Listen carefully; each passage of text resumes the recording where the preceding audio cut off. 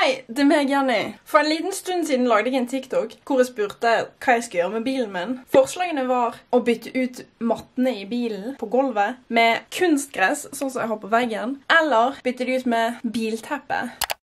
Ok, jeg trenger hjelp. Dette er bilen min, og jeg tenkte å fikse den. Kommenter på denne TikToken om jeg skal bytte ut mattene med gress, altså kunstgress. Jeg har kunstgress på veggen min også. Og lik denne TikToken om jeg skal bruke bilteppe istedenfor.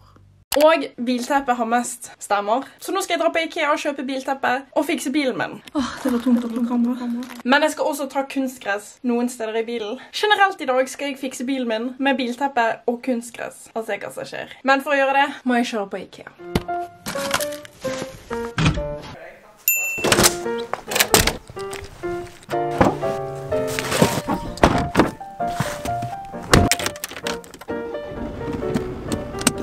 Bilen min er ganske rotete. Hvordan er jeg så dum? Med en gang jeg startet bilen, glemte jeg å holde inne kløtsjen. Jeg bare glemte hvordan man kjører i et par sekunder. Og så må jeg bare ikke kjøre inn i pappa sin bil. Før jeg drar på Ikea, skal jeg kjøre innom Theodor og hente Theodor, så jeg slipper å gjøre dette her alene. Det tar uansett sånn 50 minutter for meg å komme meg til Theodor. En time senere. Brukte jeg en time?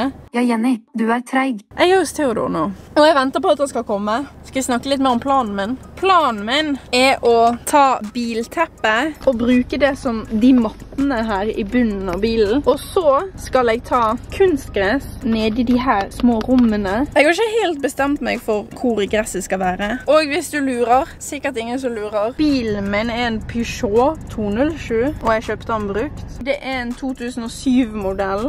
Og Theodor har allerede festet LED-lys inni bilen min som lyser rødt. Jeg fant Theodor. Theodor skal hjelpe meg å fikse bilen, bare fordi at jeg greier sikkert ikke å gjøre det selv. Men før vi drar på Ikea, må vi bare innom butikken. Jeg tror jeg må skru av bilen før vi går. Vi gikk på butikken. Jeg kjøpte Red Bull og kjeks, og Theodor kjøpte cola, Pepsi. Men nå skal jeg spise kjeks. Jeg sitter i passasjersetet på min egen bil nå, fordi jeg fikk Theodor til å kjøre. Fordi det er bitte litt skummelt å kjøre i Åsane. Men nå er vi i alle fall med Ikea. Vi må bare komme oss forbi de skumle rundkjøringene. Det er sikkert bare jeg som synes de er skummel. Eh.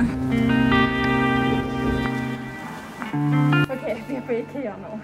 Ok, det var forferdelig. Vi skal ikke være her så lenge. Vi skal bare finne bilsetter, og så skal vi dra igjen. Det er egentlig bare hele planen.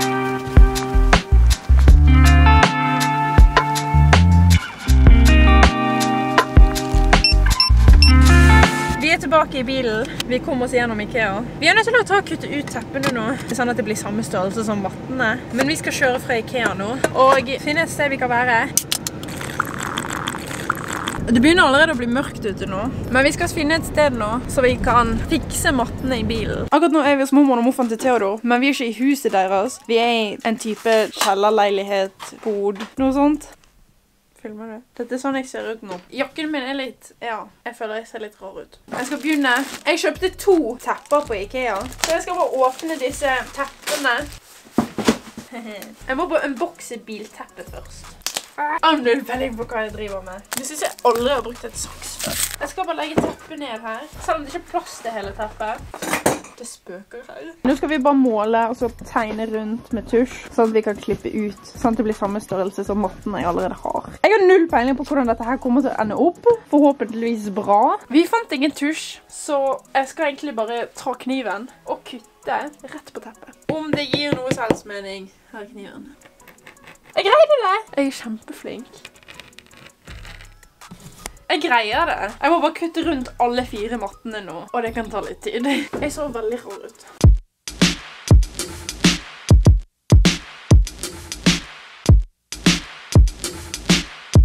Ferdig med å kutte ut den første matten. Sånn. Sånn ble den første matten. Jeg vet ikke hva jeg skal si.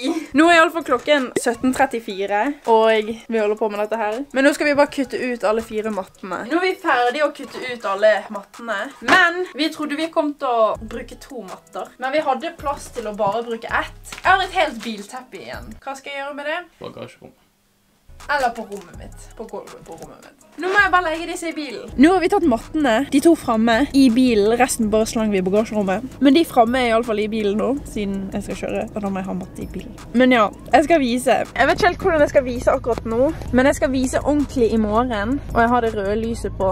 Men i morgen skal jeg vise ordentlig hvordan det ser ut, med de bak også. Og siden det er så mørkt ute, skal jeg fikse kunstgresset også i morgen. Men nå har jeg bare gjort dette her, og så gjør jeg resten i morgen. Nå skal jeg kjøre Theodor hjem, og så skal jeg kjøre meg selv igjen. Og så fortsetter jeg alltid i morgen. Snakkes. Dette er ikke dagen etterpå. Jeg skal jeg filme dagen etterpå. Dette er samme dag. Klokken er ti over åtte, og jeg er hjemme. Jeg kjørte Theodor hjem. Men nå skal jeg legge dette teppet her på gulvet mitt. Rommet mitt er ganske rotete. Det er det alltid. Jeg har bare minisaksen min. Det var egentlig ikke så dumt av meg å kjøpe ett teppe for mye, for nå får jeg endelig et teppe på gulvet. Denne minisaksen her funker til alt. Investere i en minisaks. Åh! Eneste problemet er at rommet mitt er litt rotete, så jeg må bare skubbe vekk alt jeg har, sånn at jeg teppet. Dette her kommer til å se så bra ut. Nå er jeg egentlig ganske glad for at jeg kjøpte ett teppe for mye. Dette kommer til å passe inn på rommet mitt ekstremt bra. Dette her var dagens beste kjøp. To biltepper, selv om jeg egentlig bare hadde bruk for ett. Fantastisk. Når jeg flytter ut for meg selv, skal jeg ha bilteppe i alle rommene. Ok, det var det. Snakkes i morgen når jeg fikser resten av bilen. Ha det.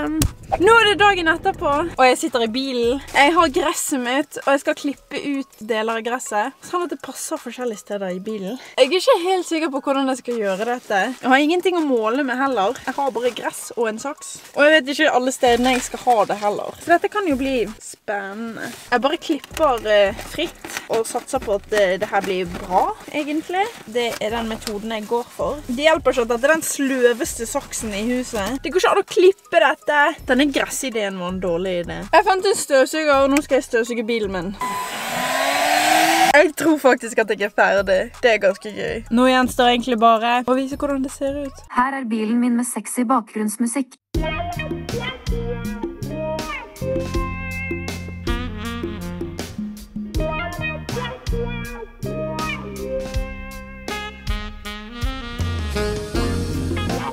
Ferdig med de greiene. Men jeg er i alle fall veldig fornøyd. Nå har jeg dratt setet mitt ganske langt bak, sånn at jeg kan se her fremme. Men jeg er ganske fornøyd, og det ser ganske bra ut. Lysene ser jo bedre ut når det er mørkt ute, men bilteppet ser bra ut nå i alle fall. Jeg tenkte bare ta og sette meg inn igjen i bilen, og så kan jeg vise hvordan det ser ut her. Jeg tok litt gress oppi her, men gresset var så stressende å holde på med. Dette er det eneste gresset jeg skal ha i bilen så langt. Jeg tror kanskje det er alt jeg trenger å vise med bilen min, og jeg trenger ikke ha det røde lyset på.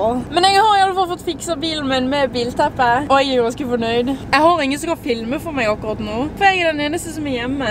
Men det er for å fungere. Og jeg har endelig bilteppe i bilen. Uansett, jeg har endelig fått fikset bilen min. Jeg håper du likte det. Hvis du vil, kan du følge meg på Instagram og adde meg på Snapchat. Så snakkes vi med neste video. Ha det.